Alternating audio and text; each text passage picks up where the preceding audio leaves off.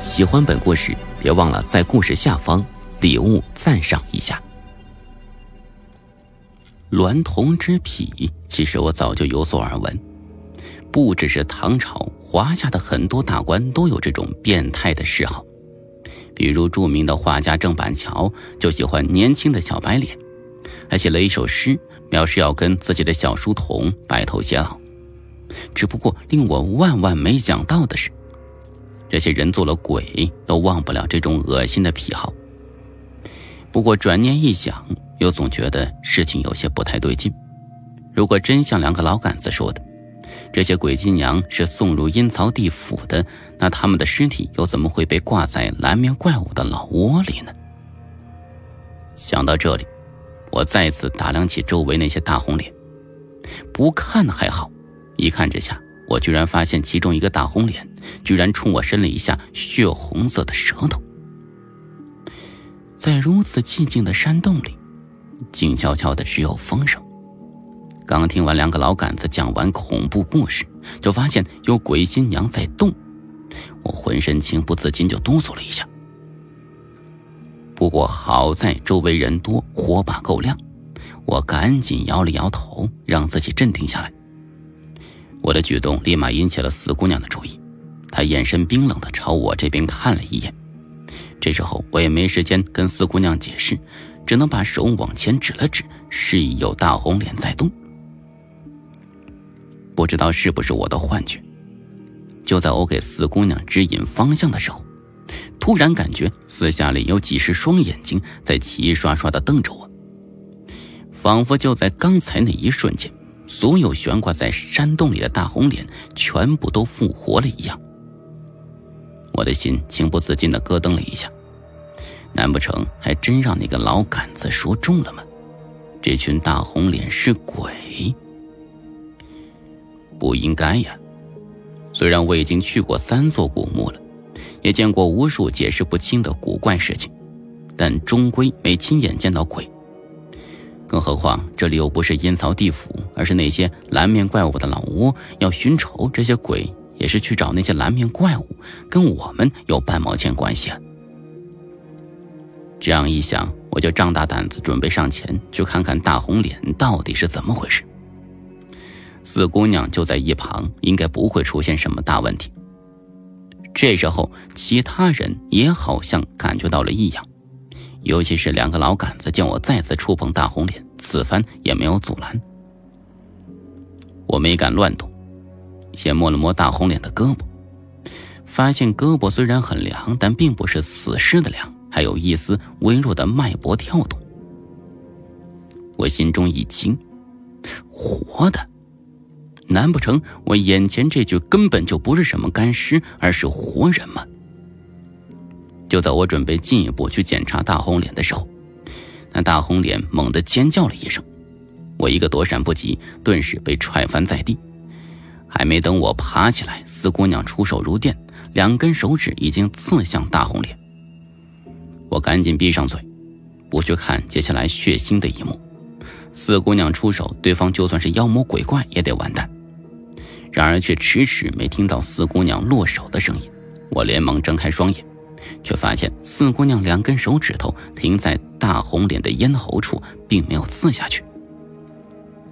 四姑娘淡淡收回手指，自己人。我愣了一下。当看清楚大红脸那张肥嘟嘟的面孔的时候，不禁破口大骂：“死胖子，他娘找死啊你！呵，不是就是开个玩笑嘛。”胖子冲我咧嘴一笑，然后撕开自己身上的红嫁衣。胖子这不笑还好，笑起来简直比哭还难看，尤其脸上还抹了厚厚的胭脂水粉，怎么看都像是被打回原形的猪八戒，看得我恶心不已。我没客气的直踹胖子一脚，骂道：“这到底怎么回事？开什么玩笑不好，偏开这种玩笑？杰克呢？喏，他就治了，不过应该昏死过去了。”胖子指着挂在自己身后那具大红脸就说：“奶奶的，这会还好意思说自己是美国海军陆战队出来的，看见蓝面怪物直接吓尿裤子。要不是胖爷我独足智多谋啊，想到这招瞒天过海的妙计，恐怕早被那帮怪物给吃了。刚刚给明叔换完绷带的詹姆士，一听挂在胖子身后的就是杰克，当下拔出伞兵刀，斩断悬挂在杰克的绳索，然后飞快检查杰克的心跳和脉搏。胖子说：“别看了，这货没啥事儿，就是太累了，加上惊吓过度，昏过去了。”我见胖子非但没有什么事情，反而还生龙活虎，便问道：“你还好意思说呀？为什么我们刚才进来的时候你不叫我们，现在吓我们一跳？”哎，胖子不好意思挠了挠头，解释说道：“那个，胖友，我我不是睡过头了吗？不是睡过头了吧？”守在洞口的王元朝讽刺的扫了胖子一眼。看样子你也是吓晕过去了。嗯，扯淡！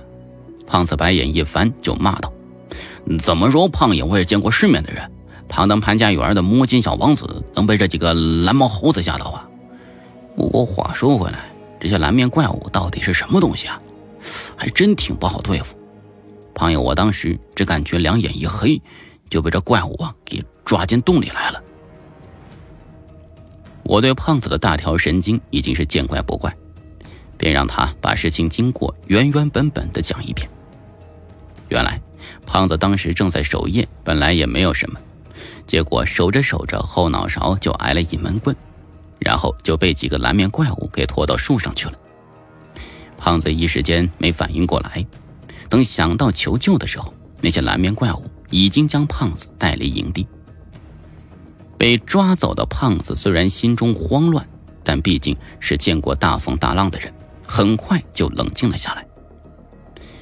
胖子当时没有挣扎，打算先看看这些蓝面怪物到底要干什么。没想到，胖子被带进这个挂满死尸的山洞。与此同时，胖子也看向杰克，杰克已经彻底吓瘫了，躺在地上尿裤子，根本帮不上胖子什么忙。根据一路的观察，胖子发现这些蓝面怪物不仅力量极大，速度也是很快。就凭他的这肥身手，想要逃出山洞几乎不可能。就在胖子不知道怎么逃出去的时候，外面陆续传来开枪的声音。胖子知道可能是我们过来了。见到蓝面怪物一窝蜂的离开山洞，胖子趁机扒光两具大红脸的衣服，生死攸关之际。胖子也顾不上什么冤鬼缠身了，用口水将干尸脸上胭脂水粉涂抹了一下，抹在自己脸上。一切就绪之后，胖子就带杰克混进这些大红脸之中。为了怕杰克大吵大闹的碍事，胖子又将杰克给打晕了。不过刚搞定这一切的时候，天色已经进入后半夜，胖子这一晚上没有睡觉。人困马乏的情况之下，当场就呼呼大睡起来，以至于四姑娘进来，他都没有发现。等他醒来的时候，就看到了我，听到两个老杆子讲鬼故事。胖子见冒了坏水了，故意趁我紧张时候吓唬我，不过没想到被四姑娘一招就制服了。胖子一边拿矿泉水卸妆，一边就说道：“嗯，不好玩。”有四姑娘这种 bug 存在，根本就玩不下去啊！哎，不过话说回来，什么吃人婆婆的恐怖传说啊？他娘的，不就那些蓝面怪物吗？没想到这帮东西不但喜欢抓人，还有收藏干尸的癖好。奶奶的，一会儿啊，胖爷见着他们，肯定好好赏他们几颗子弹。